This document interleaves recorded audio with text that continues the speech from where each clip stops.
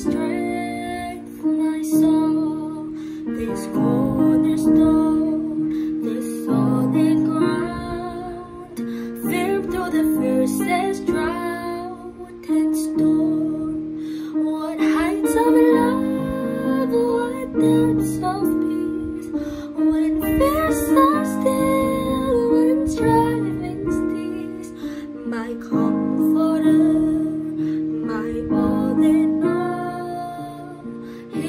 the love.